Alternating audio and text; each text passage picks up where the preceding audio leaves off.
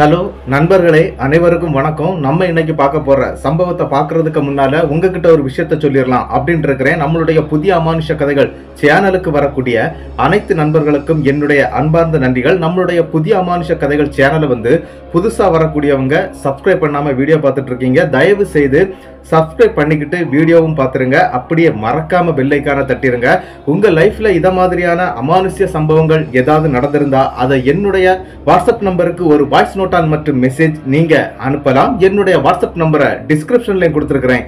இந்த டிஸ்பிளேலையும் தெரியும். கண்டிப்பாக ஃபாலோ பண்ணிக்கிடுங்க. வாங்க இன்னைக்குள்ள சம்பவத்துக்குள்ளாடி நம்ம போயிடலாம் கதை சொல்லிட்டேன் சார் அதுல உனக்கு கதை கேட்டு பழகிடுச்சு எனக்கு கதை சொல்லியே பழகிடுச்சு. நான் கதை சொல்றேன் நீ கேளு.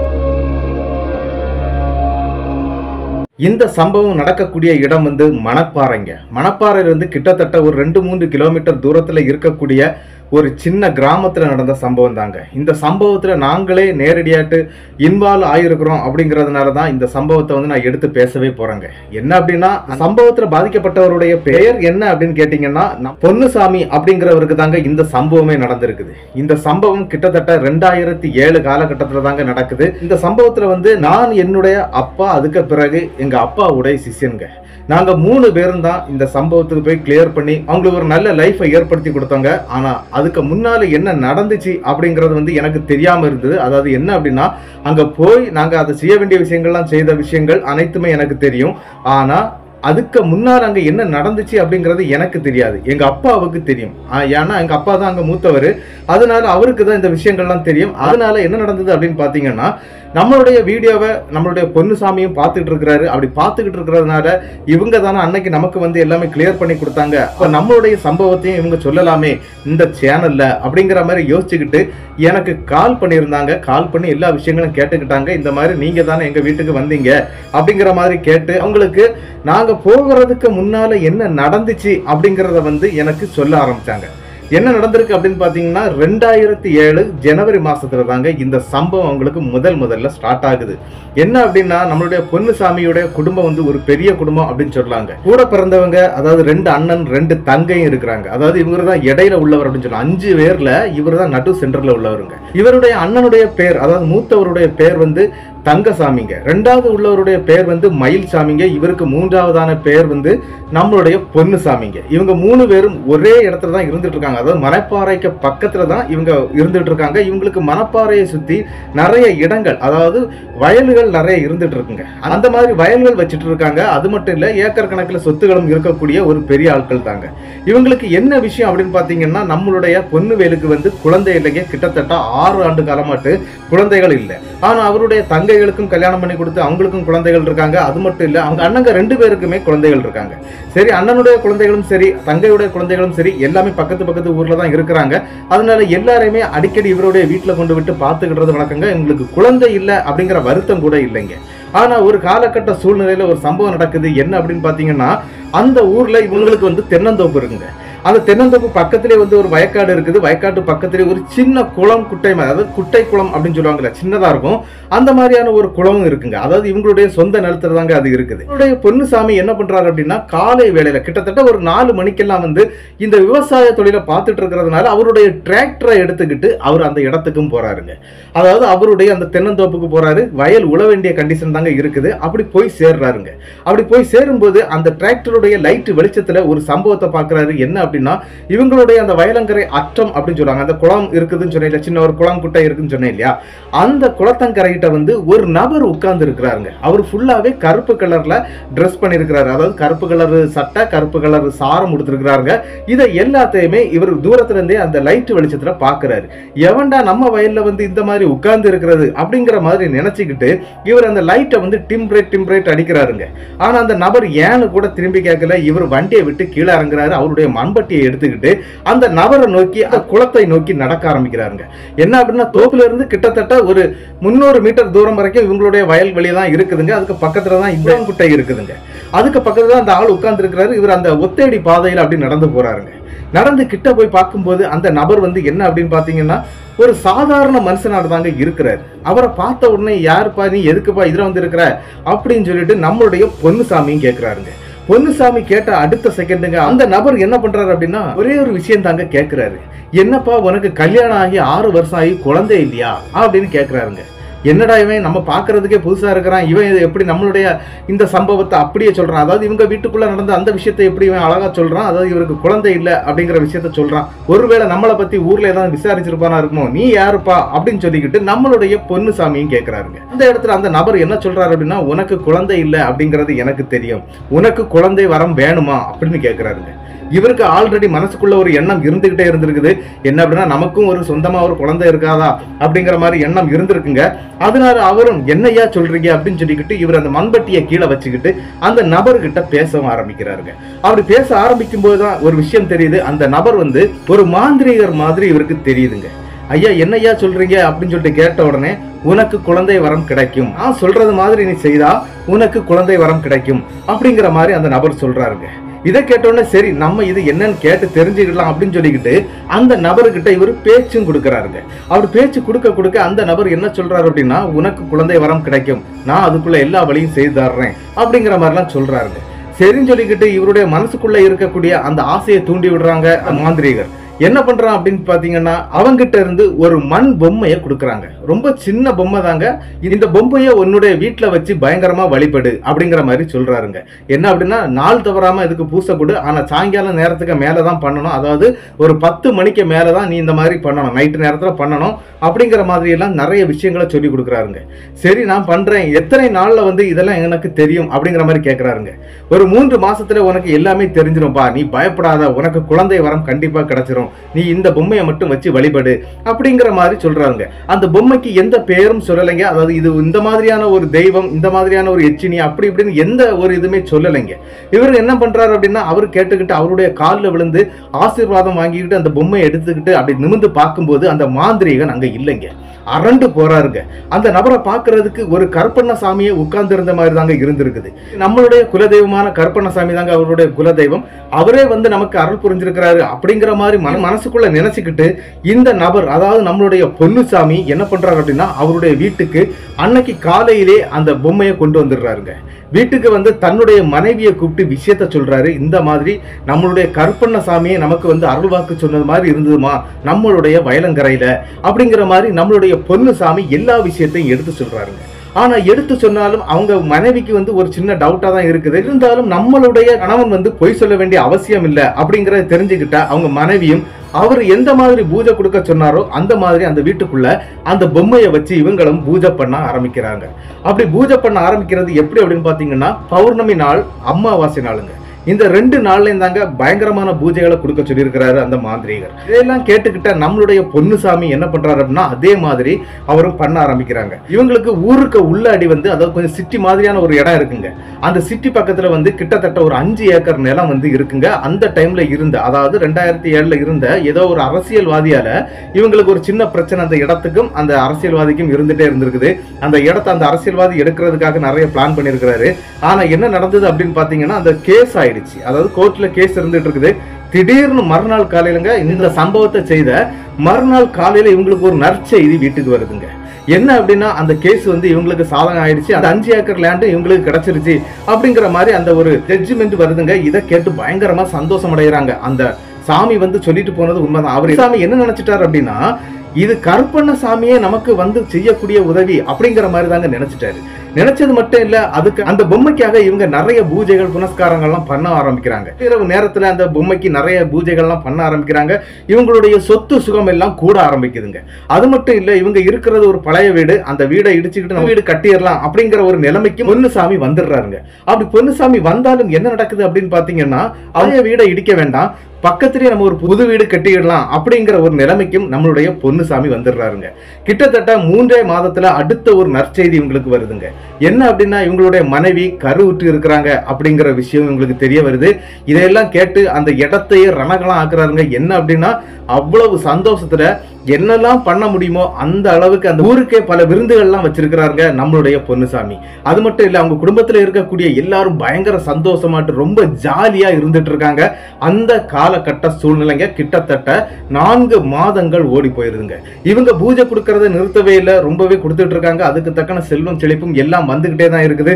ஆனா என்ன நடந்துச்சு அப்படின்னு பார்த்தீங்கன்னா ஒரு நாள் அம்மாவாசைங்க அன்னைக்கு நைட்டு தாங்க அவங்களுக்கு அங்க ஒரு பெரிய ஒரு அமானுஷ்ய திகில் சம்பவமே நடக்க ஆரம்பிக்குதுங்க. என்ன அப்படின்னு பார்த்தீங்கன்னா நம்மளுடைய பொன்னுசாமி அதுக்கு பிறகு பொன்னுசாமியுடைய அண்ணனுடைய பிள்ளைகள் ரெண்டாவது மயில்சாமி அப்படிங்கிறவருடைய பிள்ளைகள் ரெண்டு பேருமே அவங்க வீட்டில் தான் தங்கி இருக்கிறாங்க அன்னைக்கு நைட்டுங்க. அன்னைக்கு நைட்டு என்ன நடக்குது அப்படின்னு பார்த்தீங்கன்னா அந்த ரெண்டு பிள்ளைகளுமே அவங்களுக்குன்னு ஒரு ரூம் கொடுத்துருக்காங்க. அங்கே தான் தூங்கிக்கிட்டே இருக்கிறாங்க. அவங்க சும்மா ஜாலிக்கு வந்து நின்றுட்டு போகக்கூடிய ஒரு பழக்கம் உள்ள பிள்ளைகளுங்க. அதனால இந்த ரெண்டு பிள்ளைகளும் அந்த ரூமுக்குள்ளே தூங்கிட்டு இருக்காங்க. இவங்களும் அவங்களுடைய ரூமில் தூங்கிட்டு இருக்காங்க. நள்ளிரவு நேரத்தில் இந்த கட்டை செருப்புன்னு சொல்லுவாங்க இல்லையா? மரத்தினால பழைய காலத்தில் உள்ள செருப்பு அந்த மாதிரி செருப்பை போட்டுக்கிட்டு வீட்டுக்குள்ள ஆள் நடந்தா எப்படி சவுண்டு கேட்கும் டக் டக்குன்னு கேட்கும் இல்லையா? அந்த மாதிரியான சத்தம் அந்த வீட்டுக்குள்ள நள்ளிரவு ஒரு ரெண்டு மணிக்கு கேக்குதுங்க. என்னடா சத்தம் கேட்குது அப்படின்னு சொல்லிக்கிட்டு நம்மளுடைய பொன்னுசாமி தாங்க வேக வேகமா அவருடைய ரூம் கதவை திறந்துக்கிட்டு வெளியே வர்றாரு. அப்படி வெளியே வந்து பார்க்கும்போது என்ன நடக்குது அப்படின்னு பாத்தீங்கன்னா தலைகீழ ஒரு நபர் வந்து நடந்து போறாருங்க. அதை பார்த்து அதிர்ந்து போறாருங்க நம்மளுடைய பொன்னுசாமி. என்னடா இது? தலைகீழ ஒரு மனுஷன் எப்படி நடக்க முடியும்? அப்படிங்கிற மாதிரி பார்க்குறாருங்க. உண்மையிலே அங்கே அதாங்க நடக்குது. தலையெல்லாம் கீழே இருக்குது. ரெண்டு கைகள்லையும் வந்து இந்த அருவாமனை இருக்கும் இல்லையா? வீட்டில் வந்து அருவாமனை கட்டையில் அடித்து வச்சுருப்பாங்க. அந்த கட்டையை எடுத்து வச்சுதாங்க அதை கையில் வச்சுக்கிட்டு அப்படி நடந்து போகுதுங்க. காலு ரெண்டுமே மேலே பார்த்து இருக்குங்க. பார்த்து அப்படியே அரண்டு போகிறாருங்க நம்மளுடைய இன்னுசாமி அவர் பயத்துல என்ன பண்றாரு அப்படின்னா இது என்னது? நம்ம வீட்டுக்குள்ள ஒரு வினோதமான ஒரு உருவம் போகுதே அப்படின்னு சொல்லிக்கிட்டு வேக வேகமா அது எங்க போகுது அப்படின்னு சொல்லிக்கிட்டு பாக்குறாருங்க. அது நேர கிச்சனுக்குள்ள போய் காணாம போயிருதுங்க. இவரும் என்ன பண்றாரு அப்படின்னா கிச்சனுக்குள்ள போனது எங்க போச்சுது அப்படின்னு சொல்லிக்கிட்டு பாக்குறதுக்காக வேக வேகமா நடந்து அந்த கிச்சனுக்குள்ளேயும் போறாருங்க. அப்படி கிச்சனுக்குள்ள போய் பார்க்கும்போது கிச்சனுக்குள்ள யாருமே இல்லைங்க. அப்படியே ரிட்டன் திரும்பி பார்க்கும்போது இவருடைய வலது கால்ல இருந்து கத்தியால வெட்டப்பட்டது மாதிரியான ஒரு காயம் ஏற்பட்டு அதுல இருந்து ரத்தம் அப்படியே பீச்சிட்டு அடிக்குதுங்க அந்த ரத்தம் வந்து அவர் நின்ன ஹாலில் இருந்து அந்த கிச்சன் வரைக்கும் அப்படியே வடிஞ்சுக்கிட்டே இருக்குங்க. இதை பார்த்து அவர் அந்த இடத்துல அதிர்ந்து போகிறாரு என்ன அப்படின்னு அவருக்கு வழியே இல்லைங்க. உடனே அங்கே இருக்கக்கூடிய ஒரு துணியை எடுத்து அந்த காலை இறுக்கமாக கட்டுறாருங்க. ஆனால் அந்த நேரத்தில் தாங்க அங்கே ஒரு சம்பவத்தை அவர் அதிபயங்கரமான அந்த சம்பவத்தை அந்த இடத்துல பார்க்குறாருங்க. என்ன அப்படின்னா ஒரு நபர் அதாவது என்ன அப்படின்னா தலைகீழ நடந்து வர்றாரு. அவர் உடம்பு ஃபுல்லாகவே வந்து வெள்ளை வெள்ளைன்னு இருக்குங்க. ஆனால் அந்த கை கால்கள் மட்டும் கருகருன்னு இருக்குங்க. ஆனா நாக்கு வந்து ஒரு ஏழு இன்ச்சு நீளம் இருக்குங்க. அவருடைய வாயிலிருந்து தொங்குது. அதை வச்சு அந்த ரத்தத்தை அப்படி ஸ்ட்ரா போட்டு உறிஞ்சா எப்படி போகும்? அந்த மாதிரி அந்த ரத்தத்தை உறிஞ்சி அவர் காலுகிட்ட இருக்கிற ரத்தத்தை வரைக்கும் அப்படியே உறிஞ்சு குடிச்சிருதுங்க. குடிச்ச உடனே இவர் பார்த்து அதிர்ந்துடுறாரு. என்ன அப்படின்னா இந்த மாதிரி ஒரு விஷயத்த அவர் இது வரைக்கும் சந்திச்சதில்லை. இவர் கத்ததுக்கு முயற்சி பண்றாருங்க. ஆனா கத்துனா அந்த சத்தம் அவர் தொண்டைக்குள்ள இருந்து வெளியே வர்றீங்க ஆனா என்ன நடக்குது அப்படின்னு பாத்தீங்கன்னா அந்த உருவம் சல்லுன்னு இவங்க அந்த பூஜா ரூம்ல வந்து இந்த இது வச்சிருக்காங்க இல்லையா ஒரு பொம்மை வச்சிருக்காங்க இல்லையா அந்த பூஜா ரூமை நோக்கி சல்லுன்னு போயிருதுங்க. அப்படி சல்லுன்னு போன உடனே இவர் என்ன பண்றாருன்னா டக்குன்னு கத்த ஆரம்பிக்கிறாருங்க.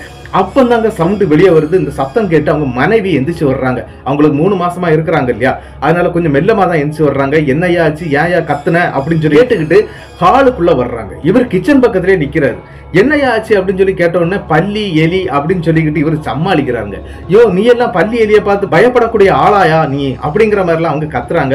இந்த நேரத்தில் எதுக்குயா கத்திட்டு இருக்கிற அது ஏன்யா காலில் துண்டை வச்சு கெட்டி இருக்கிற அப்படிங்கிற மாதிரி கேட்குறாங்க என்ன அப்படின்னு பார்த்தீங்கன்னா அவங்களுடைய காலில் இவர் வந்து இந்த ரத்தம் வருது அப்படின்னு சொல்லிக்கிட்டு ஒரு துணியை வச்சு கட்டியிருந்தார் இல்லையா? அதை அப்படி குறிஞ்சு பார்க்கறாரு அப்படி பார்க்கும்போது கெட்டு இருக்குங்க. ஆனால் அந்த ரத்தம் ஒரு சொட்டு கூட தரையிலையும் இவருடைய காலிலே இல்லைங்க. டக்குன்னு அந்த கெட்ட அழுத்து பார்க்கும்போது ஆல்ரெடி ஒரு இன்ச்சு அளவுக்கு அந்த கால் வந்து காயப்பட்டிருந்ததுங்க இல்லை வந்து காயம் இருந்தது. ஆனால் இப்போ பார்க்கும்போது என்ன நடக்குது அப்படின்னு பார்த்தீங்கன்னா ஒரே ஒரு சின்ன கீறல் தாங்க. அதாவது இந்த முனைகள் வந்து கையை கீறி விட்டதுன்னா அப்படி லைட்டாக ஒரு கோடு தெரியும் இல்லையா? அந்த மாதிரி தாங்க இருக்குது. அது அடைஞ்சு போயிருக்குது. அதை பார்க்குறாரு பார்த்துட்டு அந்த கெட்ட அழுத்து தூரம் போட்டுக்கிட்டு இங்க நடந்த எந்த விஷயத்தையும் தன்னுடைய மனைவி கிட்ட இவர் சொல்லவே இல்லைங்க. இது எதனால இப்படி நடந்தது? இது யாரு? என்னத்துக்கு இது உள்ள வந்திருக்குது? இப்படிங்கிற எந்த விஷயம் இவருக்கு தெரியலைங்க. மறுபடியும் அவர் மனைவியை கூப்பிட்டுட்டு வீட்டுக்குள்ளவே போய் படுக்க ஆரம்பிச்சிடுறாரு. ஆனா மனைவி கிட்ட இந்த விஷயத்தை இவர் எடுத்தே சொல்லலைங்க. ஏன் அப்படின்னா பயந்துருவாங்க. இப்பதான் கருவுட்டு இருக்கிறாங்க. அப்படிங்கிற மாதிரி நினைச்சிடுறாருங்க. கிட்டத்தட்ட ரெண்டு மூன்று நாட்கள் போயிருது. இந்த இடத்துல நம்ம பூஜை கொடுக்க வேண்டாம் அப்படிங்கிற மாதிரி ஒரு நிலைமைக்கும் நம்மளுடைய பொன்னுசாமியும் வந்துடுறாருங்க. என்ன அப்படின்னா இந்த மாதிரி பூஜை கொடுக்கறதுனால தான் அது வந்திருக்குது ஏதோ ஒன்று வந்திருக்குது அப்படிங்கிற மாதிரி தான் யோசிக்கிறாரு. பூஜை கொடுக்க வேண்டாம் அப்படிங்கிற ஒரு நிலைமைக்கும் நம்மளுடைய பொன்னுசாமி வந்துடுறாரு. உடனே என்ன பண்றாரு அப்படின்னா அவருடைய அண்ணனுடைய பிள்ளைகள் அங்க இருந்தாங்க இல்லையா? அவங்கள வந்து வீட்டுக்கு அனுப்பி வச்சிடுறாரு. ஏம்மா இன்னைக்கு நீங்க வர வேண்டாம் அப்படிங்கிற மாதிரி சொல்லி அனுப்பிடுறாருங்க. அது மட்டும் இல்ல தடைய மனைவியை கூட்டிக்கிட்டு செக்அப் பண்ணணும் அப்படின்னு சொல்லிக்கிட்டு கூட்டிட்டு போய் ஹாஸ்பிட்டல்ல செக்அப் பண்றாரு. என்னன்னா இவருக்கு இந்த விஷயம் நடந்ததுல இருந்தே ரொம்ப வந்துருதுங்க. அதனால என்ன பண்றாரு அப்படின்னா இவர் இந்த ஒய்ஃபை கூட்டிட்டு போய் செக் பண்ணிடலாம். அப்படிங்கிற மாதிரி யோசிக்கிறாருங்க. யோசிச்சது மட்டும் இல்ல தன்னுடைய மனைவியை கூட்டிக்கிட்டு என்ன பண்ணிடுறாரு அப்படின்னா அவங்களுடைய அம்மா வீட்டுல கொண்டு விட்டுடுறாருங்க.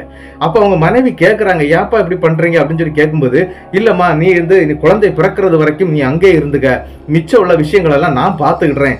ஒன்றும் பிரச்சனை இல்லை அப்படின்னு சொல்லிக்கிட்டு தன்னுடைய மனைவியை கொண்டு அங்கே விட்டுக்கிட்டு இவரும் வீட்டுக்கு வந்துடுறாருங்க. அப்படி வீட்டுக்கு வந்த சமயத்தில் என்ன நடக்குது அப்படின்னா இவருடைய மனசுக்குள்ள ஒரு டவுட் இருந்துகிட்டே இருக்குது. சரி நம்ம அந்த மாந்திரிகன் வந்து அன்னைக்கு நம்ம அந்த இடத்துல பார்த்தோம். அதாவது மாந்திரிகனா கருப்பசாமியா அப்படின்ட்டு இவருக்கு ஒரு சின்ன டவுட்லேயே தாங்க இருக்கிறாரு. வேலை நம்ம இன்னைக்கு நைட் அங்கே போன அவரை பார்க்கறதுக்கு சான்ஸ் இருக்குது. அப்படிங்கிற மாதிரி நினச்சிக்கிட்டு நம்மளுடைய பொன்னுசாமியும் என்ன பண்ணுறாரு அப்படின்னா அங்கே இருந்து அந்த குளத்தங்கரையை நோக்கி போகிறாருங்க அதாவது அவருடைய அந்த தென்னந்தோப்பு விளையாட்டு அந்த வைரங்கரைக்கு போய் அந்த குளங்குட்டை அப்படின்னு சொன்ன அந்த சின்ன குட்டைக்குள்ளாடி அந்த இடத்துக்குள்ளாடி இவரும் போகிறாருங்க அப்படி அங்கே போகும்போது உண்மையிலே அந்த நபர் அங்கே உட்கார்ந்துட்டு இருக்கிறாருங்க. அந்த கருகலர் சட்டையும் வேட்டியும் கட்டின அந்த நபர் அங்க உட்கார்ந்து இருக்கிறாருங்க அவரை பார்த்த உடனே ஐயா! அப்படின்னு சொல்லிட்டு காலில் போய் விழுந்துடுறாருங்க இவர். என்ன அப்படின்னா இவர் வந்து சொல்ல ஆரம்பிச்சிடுறாரு. அந்த வீட்டுக்குள்ள இந்த மாதிரிலாம் நடந்துட்டு இருக்குது. அது என்னது யாதுன்னு தெரியல. என்னுடைய ரணகாலம் ஆக்கிரும் போல இருக்குது. என்னுடைய காலில் இந்த மாதிரி ரத்தம் போய் அதை குடிச்சுது. அப்படிங்கிற விஷயங்கள் அனைத்தையுமே அந்த நபர்கிட்ட இவர் சொல்ல ஆரம்பிக்கிறாருங்க. அவர் அதை கேட்டுக்கிட்டு பயங்கரமா சிரிக்கிறாருங்க. என்ன அப்படின்னா டேய் இப்படிதான் இருக்கும். பணம் வேணும் காசு வேணும் அது வேணும் இது வேணும் குழந்தை வேணும் எல்லா வரவும் வேணும்னு கேட்டால் இந்த மாதிரி எல்லாம் தான் இருக்கும். நீ வந்து அதுக்கு எல்லா பணிவிடையும் செய்திருக்கிற. அது மட்டும் இல்லை இனி அது கேட்கக்கூடிய ரத்தங்களை நீ கொடுத்து தான் ஆகணும் அப்படிங்கிற மாதிரி சொல்றாருங்க. அந்த இடத்துல நம்மளுடைய பொன்னுசாமி சாமி என்ன கேட்கிறாரு அப்படின்னா இப்படியெல்லாம் இருந்தா எப்படி ஐயா வாழ முடியும்? அப்படிங்கிற மாதிரி அந்த நபர்கிட்ட கேட்கிறாரு. ஆனா அந்த நபர் அப்பந்தாங்க ஒரு விஷயத்த சொல்றாரு. என்ன அப்படின்னா நீ கண்டிப்பா அதுக்கு ரத்த பலி கொடுத்துக்கிட்டே இருக்கணும். அதாவது ரத்த பலி அப்படின்னா உன்னுடைய உடம்புல இருந்து வரக்கூடிய ரத்தம் தான் கொடுக்கணும். அப்பந்தான் அந்த சொத்து சுகம் எல்லாம் உனக்கு நிலைக்கும். அது மட்டும் இல்ல உனக்கு கிடைச்சிருக்கக்கூடிய அந்த வாரிசும் உனக்கு கிடைக்கும். அதாவது வயிற்றுக்குள்ள இருக்கக்கூடிய வாரிசும் உனக்கு கிடைக்கும். அப்படிங்கிற மாதிரி எல்லாம் அந்த நபர் சொல்றாருங்க. இவருக்கு எதுவுமே புரியல. மறுபடியும் அந்த இடத்துல இருந்து அழ ஆரம்பிச்சிடுறாரு. எனக்கு எதுவுமே வேண்டாம் என் பிள்ளை மட்டும் போதும். சொத்து சுகத்தெல்லாம் நீங்க எடுத்துட்டு போயிருங்க. அப்படிங்கிற மாதிரிலாம் சொல்றாருங்க. அந்த இடத்துல அந்த நபர் என்ன சொல்றாருன்னா உன்னுடைய சொத்து சுகம்லாம் எனக்கு தேவையில்லை. அதாவது அதுக்கு தேவையில்லை. அதுக்கு உன்னுடைய ரத்தம் தான் வேணும். அப்படிங்கிற மாதிரியே தாங்க அந்த நபர் சொல்றாரு. மாதம் தவறாம அம்மா- அம்மாவாசை அன்னைக்கு நைட்டு நீ கண்டிப்பா அதுக்கு ரத்த பலி கொடுத்தே ஆகணும். உன்னுடைய ரத்தத்தை தான் கொடுக்கணும். அப்படிங்கிற மாதிரி அந்த நபர் சொல்லிடுறாருங்க. அதாவது அந்த மாந்திரிகன் மற்றும் கற்பசாமின்னு கூட சொல்ல முடியாதுங்க. அவன் ஒரு மாந்திரிகன் தாங்க அந்த மாந்திரிகன் வந்து சொல்லிக்கிட்டு அங்கேருந்து மாயமாக போயிடுறாங்க. இவருக்கு எதுவுமே புரியல இந்த நபரும் உண்மையான மனுஷனா கடவுளா எதுவுமே தெரியலையே அப்படிங்கிற நினைப்புல மறுபடியும் வீட்டுக்கு வர்றாருங்க. இதுக்கு பிறகு எந்த பிரச்சனையும் நடக்கலைங்க. அடுத்த அம்மாவாசை வருதுங்க. இவருடைய மனைவியை வந்து இவர் வீட்டுக்கே வரவிடல. நீ உங்க அம்மா வீட்லயே நின்னுங்க நம்ம குழந்தை பிறக்கிறது வரைக்கும் அங்கேயே நின்னுக்க. மிச்ச மிச்சம் உள்ள விஷயங்கள் எல்லாம் நான் பார்த்துக்கிடுறேன் அப்படின்னு சொல்லிக்கிட்டு தன்னுடைய மனைவியை கொண்டு அவங்க மாமனார் வீட்டில் விட்டுட்டு வந்தார் இல்லையா? அதனால அவங்க மனைவி அங்கேயே இருக்கிறாங்க. அவங்களுக்கு எந்த பிரச்சனையும் இல்லைங்க. இங்க இவருக்கு தாங்க அடுத்த அம்மாவாசைக்கு பிரச்சனை வருது. என்ன அப்படின்னா அன்னைக்கு நைட்டும் இவர் தூங்கி தூங்கிக்கிட்டு இருக்கிறாரு. அது அன்னைக்கு நைட்டு இவர் தூங்கிக்கிட்டே இருக்கிறாருங்க. அப்படி தூங்கிக்கிட்டு இருக்கும்போது மறுபடியும் அந்த வீட்டுக்குள்ள சங்கு ஊதக்கூடிய ஒரு சத்தம் கேட்குதுங்க அதை யாரு ஊதுறா அப்படின்னு பார்த்தீங்கன்னா அந்த வெளியில பார்த்த அதே மாந்திரிகன் தாங்க அந்த இடத்துல வந்து சங்கு ஊதிக்கிட்டே நிக்கிறான். இதை பார்த்த உடனே இவருடைய உடம்பெல்லாம் நடுங்க ஆரம்பிக்குதுங்க. என்ன அப்படின்னா இந்த மாந்திரிகனா அவர் தோப்புல தான் பார்த்தாரு. அவன் எப்படி இங்க வந்துட்டான் அப்படிங்கிற மாதிரி யோசிக்கிறாருங்க. இவன் உண்மையிலேயே மனுஷனா பேயா இல்ல சாமியா எதுவுமே தெரியலையே அப்படிங்கிற மாதிரி நினைச்சுக்கிட்டு நம்மளுடைய பொண்ணு சாமியும் என்ன பண்றாரு அப்படின்னா கிட்ட போயிடுறாருங்க. ஐயா என்னால் இந்த மாதிரிலாம் பண்ண முடியாது. தயவு செய்து இந்த பொம்மையை நீங்கள் எடுத்துகிட்டு போயிருங்க. எனக்கு சொத்து சுகம் கூட எதுவும் வேண்டாம். என் குழந்தைய மட்டும் எனக்கு கொடுத்துட்டு போயிருங்க அப்படிங்கிற மாதிரி இவர் மறுபடியும் சொல்கிறாருங்க அது இனிமேல் நடக்காது அப்படிங்கிற மாதிரி அந்த மாந்திரிகவாதியும் சொல்கிறாங்க இதை கேட்ட உடனே இவருக்கு ஆட்டம் கொடுத்துருதுங்க. அந்த நேரத்துக்கு அந்த தத்துருவ மாட்டை அந்த கிச்சனுக்கு உள்ள இருந்து அது என்ன பண்ணிட்டு வருது அப்படின்னு பாத்தீங்கன்னா அருவாமனை இருக்குது இல்லையா? அருவாமனைய கையில வச்சுக்கிட்டு தலைகீழ நடந்து வருதுங்க. அந்த அருவாமனை கீழே தட்ட தட்ட தாங்க அந்த மரக்கட்டையோட சத்தம் தாங்க அப்படி டக்கு டக்குன்னு கேட்குது அந்த சத்தத்தோட கிட்ட வந்துருதுங்க. கிட்ட வந்த இவர் கை கால்லாம் விடவெடுத்து நடுங்கி அப்படியே நின்றுட்டு இருக்கிறாருங்க அந்த நேரத்துக்கு அந்த அருவாமனையை வச்சுதாங்க இவருடைய காலில் மறுபடியும் கிழிக்குதுங்க. அதாவது மறுபக்கம் இருக்கக்கூடிய காலில். அதுலேருந்து ரத்தம் பீச்சி அடிக்குதுங்க. ஆனால் இவருக்கு எந்த வலியும் தெரியலைங்க. ஆனால் அந்த ரத்தத்தை அப்படியே அந்த இடத்துல அந்த உருவம் வந்து அப்படியே குடிக்க ஆரம்பிக்குதுங்க. இதையெல்லாம் பார்த்து அந்த இடத்துல மயங்கியே விழுந்துடுறாரு நம்மளுடைய பொன்னுசாமி. ஆனால் அதுக்கு பிறகு என்ன நடக்குது அப்படின்னு பார்த்தீங்கன்னா மறுநாள் காலையில் விடியுதுங்க. விடியும் போது என்ன நடக்குது அப்படின்னா இவ தூங்கி எந்திப்பாங்க இல்லையா? அந்த மாதிரியே எந்திரிச்சிடுறாரு. எந்திரிச்சு இவருக்கு ஒரே ஒரு டவுட் தான் என்ன அப்படின்னா நம்ம நேத்தைக்கு பார்த்தது கனவாக தான் இருக்கும் கனவு தான் இது அப்படிங்கிற மாதிரியே நினச்சிட்டே இருக்கிறாருங்க. ஆனால் என்ன நடக்குது அப்படின்னு பார்த்தீங்கன்னா அவருடைய காலை எடுத்து பார்க்கும்போது அந்த அருவாமனை வச்சு கீறின அந்த அடையாளம் இருக்குங்க. ஆனால் ஒரு சின்ன நூல் அளவுக்கு தாங்க இருக்குது. ஆனால் வெட்டும்போது மட்டும் அது பிளந்து பெரிய அளவில் இருந்திருக்குது. நிறைய ரத்தம் கொப்பளிச்சிட்டு வெளியே சாடி இருக்குது. ஆனால் சாதா பார்க்கும்போது அந்த இடத்துல வந்து என்ன அப்படின்னா ஒரே ஒரு சின்ன நூல் லைன் தாங்க இருக்குது. அதையெல்லாம் பார்த்துக்கிட்டு இவரும் என்ன பண்ணுறாரு அப்படின்னா சரி நமக்கு பிரச்சனை பெருசாயிட்டே இருக்குது. இதை நம்ம இப்படி வச்சுட்டு இருந்தால் சரியாகாது. நம்மளுடைய அண்ணனுக்கிட்ட இதை சொல்லிடலாம் அப்படின்னு சொல்லிக்கிட்டு இவர் என்ன பண்ணுறாரு அப்படின்னா அங்கேருந்து வண்டி எடுத்துக்கிட்டு அதாவது இவர் டிராக்டர் தாங்க கூடுதல் யூஸ் பண்ணுறாரு அவருடைய அண்ணனுக்கு ஊர் வந்து பக்கத்தில் தான் இருக்குங்க. அங்கேயும் போகிறாரு அதாவது மயில்சாமி அப்படிங்கிறவருடைய வீட்டுக்கு போகிறாருங்க அங்கே போய் விஷயத்த சொல்கிறாரு அண்ணா நான் இப்படி ஒரு பெரிய பிரச்சனையில் மாட்டிகிட்டு இருக்கிறேன் எனக்கு இந்த மாதிரி நடந்துகிட்டு இருக்குது அப்படின்னு சொல்லி இங்கே நடந்த விஷயங்கள் அனைத்தையுமே சொல்கிறாருங்க ஆனா உடனே அவரும் இதை வந்து பெருசாகல சரிப்பா நம்ம ஒன்று பண்ணும் மூத்தவரை போய் பார்த்துடலாம் அதாவது தங்கசாமியை போய் பார்த்துடலாம்ப்பா அப்படின்னு சொல்லிக்கிட்டு இங்கே ரெண்டு பேரும் தங்கசாமிங்கிற மூத்த அண்ணனாராக போய் பார்க்கறாங்க அப்படி அண்ணனை போய் பார்த்த உடனே அவரும் அப்படியாப்பா இப்படியெல்லாம் நடந்ததா? அப்படி இப்படின்னு சொல்லி அவங்க ஒரு கொஞ்சம் விளையாட்டாக தாங்க கேட்குறாங்க ஆமாப்பா இப்படியெல்லாம் நடந்துட்டு இருக்குது நம்ம வீட்டுக்குள்ளே தான் இந்த மாதிரி பிரச்சனை பெருசாயிட்டே போயிட்டு இருக்குது நீங்கள் ஒன்று வந்து பாருங்க. யாரையாவது வந்து பார்க்க வச்சு இதை கிளியர் பண்ணணும். அப்படிங்கிற மாதிரி எல்லாம் நம்மளுடைய பொன்னுசாமி சொல்கிறாருங்க அங்க இருக்கக்கூடிய தன்னுடைய ரெண்டு அண்ணன்களும் சரிப்பா நாங்க உங்க வீட்டுக்கு வர்றோம். என்ன நடக்குதுன்னு பார்க்கலாம். அப்படின்னு சொல்லிக்கிட்டு அவங்க ரெண்டு பேருமே அன்னைக்கு அவங்க வீட்டில் தாங்க தங்குறாங்க. இவங்க மூணு பேரும் வீட்டுக்குள்ள தங்குறாங்க. அந்த நேரத்துக்கு என்ன அப்படின்னா நம்மளுடைய பொன்னுசாமியுடைய ரூம்ல தாங்க இவங்க மூணு பேருமே இருக்கிறாங்க. அதாவது தூங்கவே இல்லைங்க. முழிச்சே தான் இருக்கிறாங்க. அப்ப அந்த அந்த நேரத்துல நம்மளுடைய பொன்னுசாமி என்ன பண்றாரு அப்படின்னா அதாவது அமாவாசை டைம்ல மட்டும்தான் இந்த சம்பவம் நடக்கும். டெய்லி நடக்கிறது கிடையாது அப்படிங்கிற மாதிரி சொல்றாருங்க. என்னையா சொல்ற அப்படின்னு சொல்லும்போது அதுக்கு முந்தின நாள் தாங்க அமாவாசை அந்த முந்தின நாள் அமாவாசை அப்படிங்கிறதுனால தான் அவருக்கு அந்த சம்பவம் அன்னைக்கு நடந்திருக்குது. இன்னும் பதினஞ்சு நாள் நம்ம வெயிட் பண்ணா மட்டும்தான் அது நடக்கும் அப்படிங்கிற மாதிரி சொல்றாருங்க. சரிப்பா பதினஞ்சு நாள் கழிச்சு நம்ம பார்த்துக்கலாம் அப்படின்னு சொல்லிட்டு அன்னை நைட்டு ஃபுல்லாக பார்த்துடுறாங்க. அந்த வீட்டுக்குள்ளே எதுவுமே நடக்கலைங்க. பிறகு மறுபடியும் அந்த அமாவாசை டைமில் இவங்க மூணு பேருமே அந்த வீட்டுக்குள்ளே வர்றாங்க. அப்படி அந்த வீட்டுக்குள்ள வரும்போது என்ன நடக்குது அப்படின்னு பாத்தீங்கன்னா இவங்க ஆல்ரெடி ஒரு பூஜை பண்ற விஷயத்தை நிறுத்திடுறாரு நம்மளுடைய பொன்னுச்சாமி அதனால என்ன நடக்குது அப்படின்னு பாத்தீங்கன்னா அந்த வீட்டுக்குள்ள அங்கேயாட்டு கொஞ்சம் கொஞ்சமாட்டு நெருப்புகள் எரிஞ்சு அணைஞ்சிருக்கிறதெல்லாம் இவங்க கவனிக்கிறாங்க. அதாவது கொஞ்சம் கொஞ்சம் தீப்பிடிச்சு எரிஞ்சிருக்கும் அந்த இடம் அணைஞ்சிருக்கும். அந்த- மாதிரி இருக்கிறத அந்த வீட்டுக்குள்ள இவங்க கவனிக்கவும் செய்யறாங்க சரிப்பா நம்ம ஓன் ரூம்லயே இருக்கலாம் அப்படின்னு சொல்லிட்டு பிளான் பண்றாங்க. உடனே அந்த இளைய மயில்சாமி அப்படிங்கிறவர் நம்ம ஹால்லே இருப்போம். எதுக்கு நம்ம ரூமுக்குள்ள இருக்கணும் அப்படிங்கிற மாதிரி சொல்லிக்கிட்டு இவங்க என்ன பண்றாங்க அப்படின்னா ஹால்லே உட்காந்துடுறாங்க அப்படி அந்த ஹாலில் உட்காந்து இருக்கும்போது கிட்டத்தட்ட நள்ளிரவு ஒரு ஒரு மணி ஆகுதுங்க. இவங்க கொஞ்சம் அசந்து தூங்கவும் ஆரம்பிச்சிடுறாங்க. அப்படி தூங்கிக்கிட்டே இருக்கும்போது நம்மளுடைய பொன்னுசாமியை வந்து யாரோ தரதரான்னு இழுத்து அந்த பூஜா ரூம் இருக்குது இல்லையா அந்த பக்கத்துக்கு இழுத்துட்டு போகுதுங்க. நம்மளுடைய பொன்னுசாமி கத்த ஆரம்பிச்சிடுறாரு. அப்படி கத்துன சத்தம் கேட்டு அங்க இருக்கக்கூடிய ரெண்டு சகோதரர்களும் முழிச்சிடுறாங்க. அப்படி முழிச்சு பார்க்கும்போது டே என்னடா என்னடான்னு சொல்லிட்டு ஓடி போய் நம்மளுடைய பொன்னுசாமியை பிடிக்கிறாங்க. அப்படி பிடிக்கும்போது தாங்க ஒரு விஷயத்த பார்க்குறாங்க. நம்மளுடைய பொன்னுசாமியுடைய காலை இழுத்துட்டு இருக்கிறது யார் அப்படின்னா நம்ம பொன்னுசாமி சொன்னது மாதிரியான அந்த கருப்பு கலர்ல ட்ரெஸ் போட்டிருக்கக்கூடிய அந்த நபருடைய உருவங்க. அதனுடைய கண்கள் எல்லாம் பார்க்குறாங்க. அது உண்மையிலே மனுஷன் கிடையாது தெய்வமும் கிடையாது. அது ஒரு அமானுஷ்ய சக்தி அப்படிங்கிறத வந்து அந்த இடத்துல இவங்க ரெண்டு பேருமே பார்த்துடுறாங்க. இவங்களுடைய பின்பக்கத்தில் அந்த தலைகீழாட்டு நடந்து வரக்கூடிய அருவாமனையோட அந்த உருவம் வந்து தலைகீழ் அப்படியே நடந்து வருதுங்க.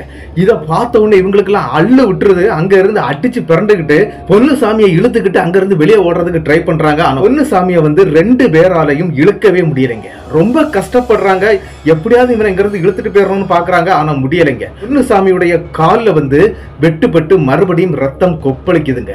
அவங்க அண்ணங்க தான் ரெண்டு பேரும் அந்த ரத்தத்தை அமைக்க அமைக்கி பிடிக்கிறாங்க. ஆனா ரத்தம் அவங்க கையை தாண்டியே வெளியே வருதுங்க.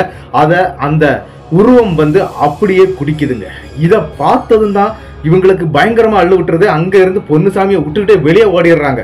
யா, அதுக்கு பிறகு ஒரு பத்து நிமிஷத்துல இதெல்லாம் முடிஞ்சிருதுங்க. முடிஞ்சு பொன்னுசாமி அவர் பாட்டுக்கு எழும்பி வெளியே வர்றாரு. வெளியே வந்து சொல்றாரு. வெளியே வந்த பொன்னுசாமி தன்னுடைய சகோதரர்களை பார்த்து விஷயத்த சொல்றாருங்க.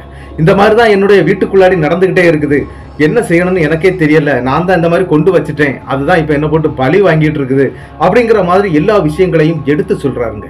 சரி. சரின்னு சொல்லிக்கிட்டு பொன்னிசாமியுடைய அண்ணன் வந்து என்ன பண்றாரு அப்படின்னா இந்த மூத்தவர் இருக்கிறார் இல்லையா? அதாவது தங்கசாமி. தங்கசாமி வந்து எங்க அப்பாவுக்கு பயங்கர பழக்கங்க. அவங்களுக்கு சின்ன வயசுல ஒரு பழக்கம் இருந்திருக்குது. அது மட்டும் இல்ல அடிக்கடி எங்க அப்பாவை வந்து பார்த்துட்டு போற பழக்கமும் தங்கசாமிக்கு இருந்திருக்குங்க.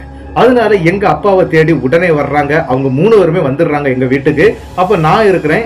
என்னுடைய அப்பா இருக்கிறாரு. எங்க அப்பாவுடைய சிஷியன் இல்ல. நாங்க ரெண்டு பேரும் தான் வீட்டிலே இருக்கிறோங்க. அப்படி எங்கள் வீட்டுக்கு மின் பக்கத்திலேயே வந்து நாங்கள் எங்களுடைய சாமியுடைய அந்த இதெல்லாம் வச்சிருப்போம். ஃபோட்டோஸ்ல இருந்து எல்லாமே இருக்கும். அங்கே எந்த எந்திரங்கள்லாம் எழுதப்பட்டு அதை வந்து பூஜை பண்ணி அதில் வச்சிருப்போம். அந்த வழி வாசலில் வந்த உடனே நம்மளுடைய பொன்னுசாமி அப்படியே கறங்கி கீழே விழுந்துடுறாரு. தலை சுற்றி அப்படியே கீழே விழுந்துடுறாருங்க. ஏன்டா இப்படி விழுந்து கிடக்குறான் அப்படின்னு சொல்லிக்கிட்டு எங்க அப்பா தான் வெளியே வந்து பாக்குறாரு வெளியே வந்து பார்த்து தீர்த்தம் எடுத்து அவருடைய முகத்துல எங்க அப்பா தான் தெளிக்கிறாருங்க. அதுக்கு பிறகு தாங்க நினைவுக்கு வர்றாரு நம்மளுடைய பொன்னுசாமி. அவருடைய வீட்டுக்குள்ள நடந்த அனைத்து சம்பவத்தையும் எங்ககிட்டயும் எடுத்து சொல்றாரு. இந்த மாதிரி ஒரு பெரிய பிரச்சனையில நாங்க மாட்டிட்டு இருக்கிறோம். என்ன செய்யணும்னே தெரியல அப்படிங்கிற மாதிரி எங்கள்கிட்டையும் சொல்றாங்க. அதுக்கு பிறகு தாங்க எங்க அப்பா அங்க சின்ன ஒரு பூஜையை ஒன்று பண்றாருங்க. அப்படி பூஜையை பண்ணி பார்த்துக்கிட்டு தாங்க எங்க அப்பா வந்து ஒரு அதிர்ச்சியான ஒரு சம்பவத்தை அங்க சொல்றாருங்க.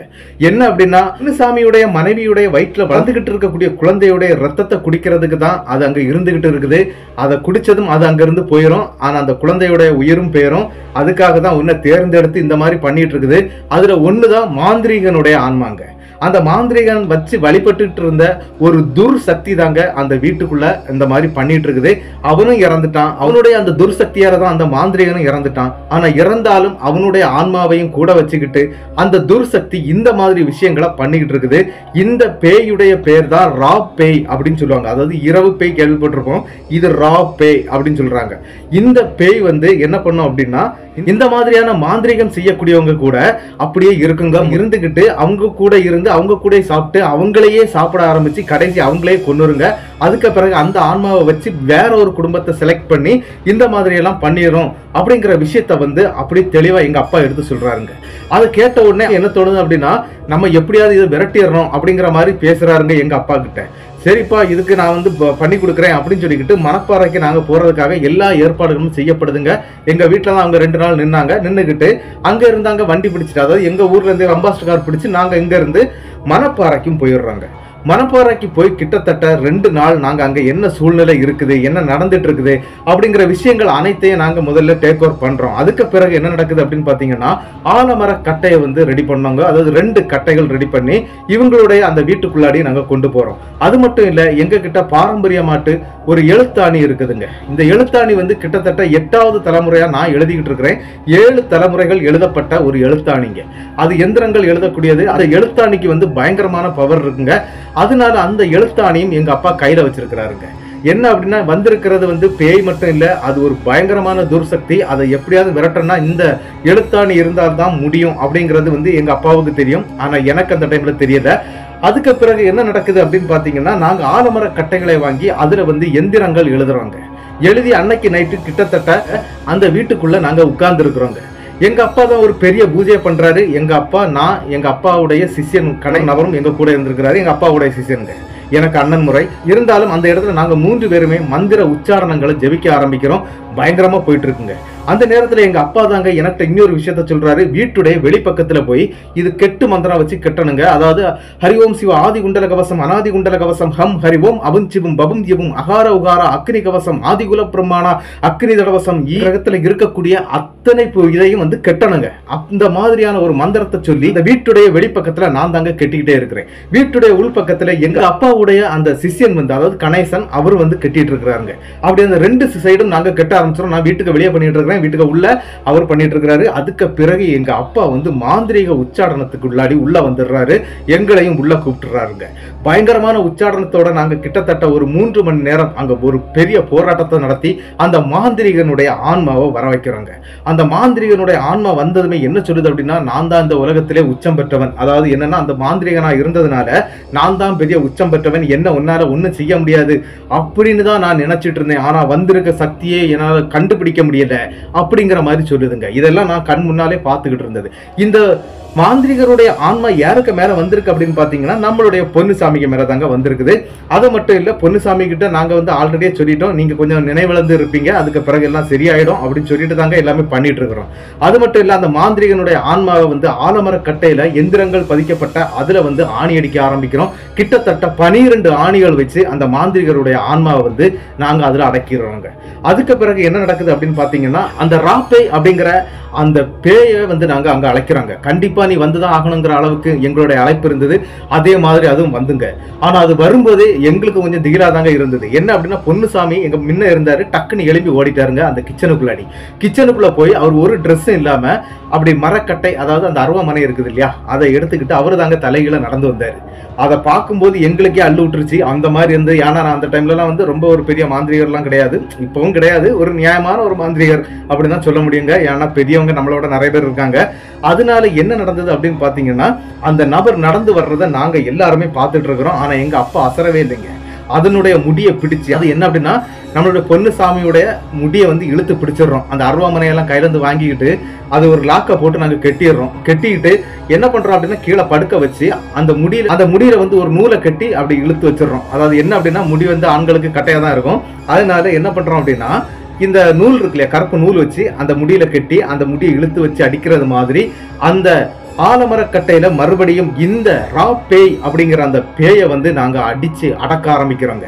அப்படி அடக்க ஆரம்பிச்சு கிட்டத்தட்ட ஒரு மூணு மணி ஆயிருதுங்க அந்த வேலையை முடிக்கிறதுக்கு. அங்க இருந்து என்ன பண்றோம் அப்படின்னா அவங்களுக்கு நினைவெல்லாம் திரும்பிடுது அந்த பேய் அங்க இருந்து போயிருது. எ- எல்லா விஷயத்தையும் நாங்க கிளியர் பண்ணிடுறோம். அதுக்கு பிறகு என்ன நடக்குது அப்படின்னு பாத்தீங்கன்னா நாங்க சொல்றோம் இந்த மாதிரி அந்த பூஜா ரூம்ல வந்து ஒரு மண் பொம்மை இருக்குது அதை எடுத்துட்டு வாங்க அப்படின்னு சொல்லி அந்த மண் பொம்மையை கொண்டு வந்து இந்த ரா பேயுடைய அந்த மண் பொம்மை தாங்க அந்த பொம்மையை வந்து அந்த கட்டையில அதாவது அந்த ஆலமர கட்டையில வந்து அப்படி கருப்பு நூலால கட்டி சில பல எந்திர தகடுகளை கட்டி அந்த- கட்டை கட்டை இருக்குது இல்லையா அந்த ரெண்டு கட்டையும் அதாவது இந்த எந்திர கட்டைகள் ரெண்டையும் எடுத்துக்கிட்டு நாங்க என்ன பண்றோம்னா அவங்க ஊருக்குள்ள மணப்பாறையிலேருந்து ஒரு மூணு நாலு கிலோமீட்டர் தூரத்துல தாங்க அவங்க ஊர் இருக்கு. அந்த ஊருக்குள்ள இருக்கக்கூடிய சுடுகாட்டுக்கு நாங்க கொண்டு போறோங்க. கிட்டத்தட்ட அங்க போகும்போதே அங்க வந்து சிவ சுடலையோட வாசம் தான் கூடுதலா இருக்குது. அதாவது சிவசுடலை தான் அங்க ஆண்டுகிட்டு இருக்கிறாரு. அது மட்டும் இல்ல அந்த சுடுகாட்டு பத்திரகாளியும் அங்க இருக்குதுங்க. அங்க போய் அவங்க அவங்க கிட்ட அனுமதி கேட்டு ஒரு சில வேலைகளை பார்க்குறோம் அவங்களுக்கு கொடுக்க வேண்டிய விஷயங்களை கொடுத்துட்றோம். சுடுகாட்டு காளி வர்றாங்க. அவங்களுக்கு வந்து கோழி அறுத்து கையில கொடுத்துட்றோம்.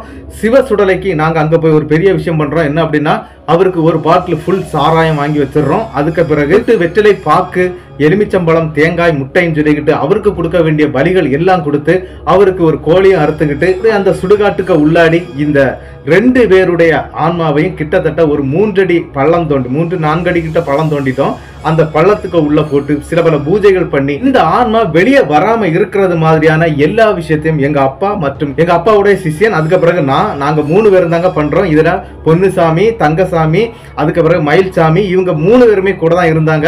இவங்களுக்கு எல்லாம் கிளியரா ஆயிருது கிட்டத்தட்ட ரெண்டு நாட்கள் நாங்க மணப்பாறையில் அவங்க வீட்டில் தாங்க இருந்தோம். இருந்தது மட்டும் இல்லை எல்லாம் கிளியர் ஆயிடுச்சு. அதுக்கு பிறகு அவங்க வீட்டுக்கான எந்திரங்கள் எழுதப்பட்டதுங்க. அதாவது அவங்களுக்கு இந்த மாதிரி பிரச்சனைகள் இனிமேல் வராமல் இருக்கிறதுக்கு வேண்டிய சில எந்திரங்கள் நாங்கள் எழுதி அதை வந்து அவங்களுக்கு பூஜையில வச்சு கொடுத்துட்டோம். அது மட்டும் இல்லை அவங்களுக்கான தாயத்துகள்லாம் எழுதி கொடுத்துட்டோம். அதுக்கு பிறகு இந்த பிரச்சனையே அவங்களுக்கு வரலைங்க.